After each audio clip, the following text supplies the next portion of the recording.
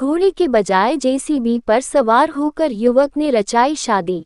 अपनी शादी को यादगार बनाने के लिए लोग तरह तरह के उपक्रम करते हैं। कोई हेलीकॉप्टर में बारात लेकर जाता है तो कोई बैलगाड़ी पर बैठकर दुल्हन लेने जाता है तो कोई घोड़े पर बैठता है तो कोई कार पर बैठा है। लेकिन नवसारी चिखली के एक नवयुवक दूल्हे ने तो कमाल ही कर दिया। उसने अपनी सवारी के लिए जेसीबी चुना। अपनी शादी को सबसे अलग और सबसे हटके बनाने के लिए युवक ने जेसीबी को सजाया और उसके अगले हिस्से पर गद्दे बिछाकर शादी रचाने दुल्हन के घर पहुँचा।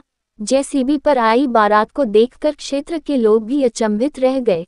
कलियारी गाँव के धोडियावाद फलिया में रहने वाले गुलाब पटेल के सुपुत्र मयूर पटेल ने जेसीबी में बैठकर यह अनोखी रीत चलाई।